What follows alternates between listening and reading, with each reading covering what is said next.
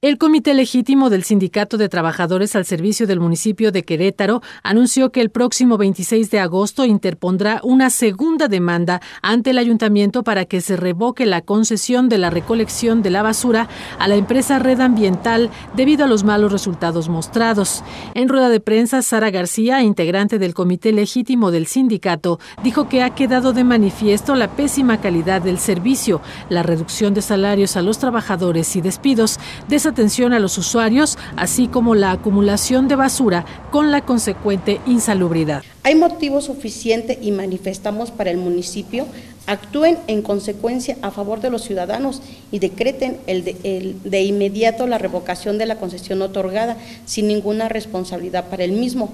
El no hacerlo genera altas sospechas de la existencia de intencional para privilegiar de intereses particulares que se pone